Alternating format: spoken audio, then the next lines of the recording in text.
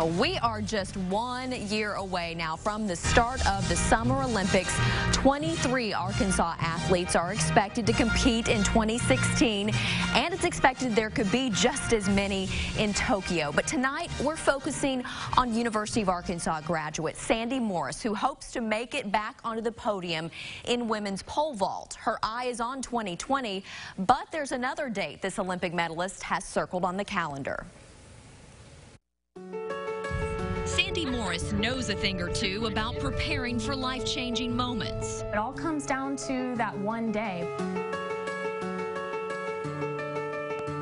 It was her final pole vault at the 2016 Summer Olympics. Oh, and she just comes up short. For a fraction of a second in the air, I thought it was a gold medalist. The Arkansas Razorback in her first Olympics takes the silver. The memory just as vivid as the neon shoes she wore that day in Rio de Janeiro. Comes in this really cool box. Sandy silver. A physical symbol of all my hard work. And a reminder of what it will take to get to Tokyo in 2020. I know that when people say, oh my gosh, you almost had it, they, they, they mean well by that, but at the same time, I'm like, people aren't going to say that to me next time. I'm so motivated.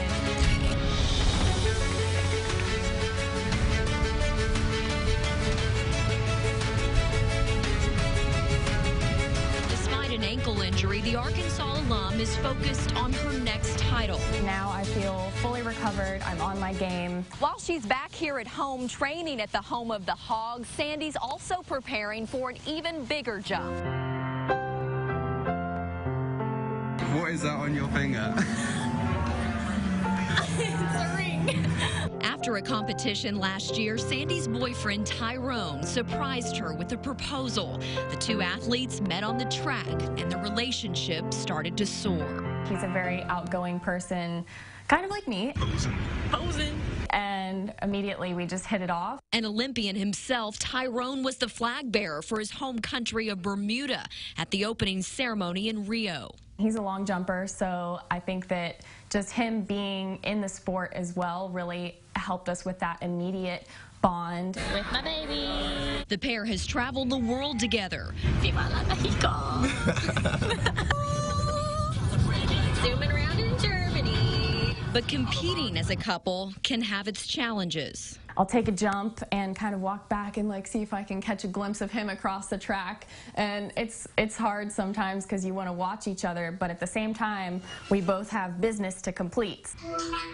Their love is long distance now, Hello. but that will change on October 19th. Wanted to see how you were.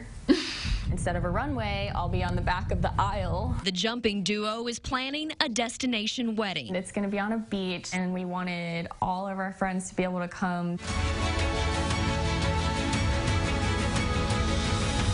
From vaulting to marriage vows, Just like an attempt in the vault, you can't have any doubt in your mind. the bride to be approaches her big day just like the sport You just have to, once you're there, you got to go for it. that brought her a spouse Mrs. Sandi Morris Smith. and a new name. And Sandi, along with three other Razorbacks practicing with her in this story, are competing this weekend in the USA Nationals or the USA Championship in Des Moines, Iowa. She has to place in the top three to move on to the Worlds. We also learned about one of Sandi's other passions besides track and field. You can watch that part of the story as a web extra on our website, kark.com.